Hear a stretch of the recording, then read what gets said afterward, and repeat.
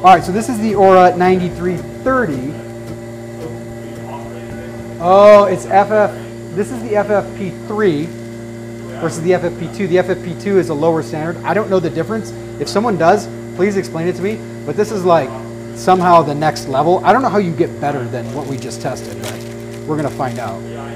This is so cool that you found all these masks for me. I cannot get this freaking thing on this, so I'm gonna have to destroy this. Let's take a picture of it first so that you have it. I'm gonna have to destroy this, put it in. We're gonna get back to the 9230. All right, I will do this. Oh God! Oh, sorry. Ow. Oy.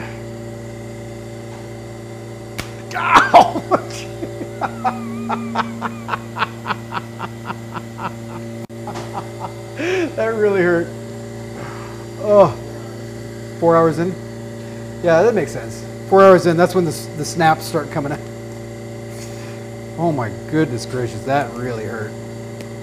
Okay, I don't know anything about these standards, but you can see a good, a good mask is always going to have the whole standard printed on it. So you know when you're donning the mask, it's actually in the standard, that you see the name, the model number, and the standard that it meets. I think this is good. Ow, my finger still hurts from that. All right, this is a PFE machine, particulate filtration efficiency machine. We are doing the uh, N95 test on this 3M FFP3. It is a model number 9330 plus, made in the UK, just uh, across the pond. Is that, is that what we say? Across the pond? And the only thing you have to worry about 3M is that their stuff is so widely known and good that they're a big target for uh, counterfeiters. Uh, our mask, for example, no one would bother to copy because we don't have enough people that know about us. so, score one for being the, the little guy.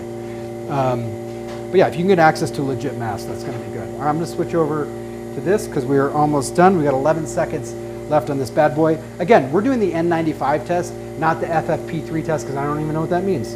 If someone does, please share in the comments. Wow. 99.99%. That's a record for today.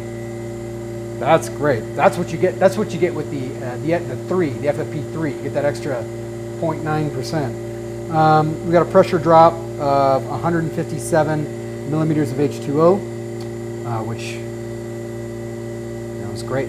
Uh, that's well within the N95 spec. So great mask. They had 3M Aura 9330 Plus, made in the UK. Not surprised that it's a good mask. Uh, thanks for watching on that one. Oh, do you need to move? All right, give me one second, and I will catch you on the next test.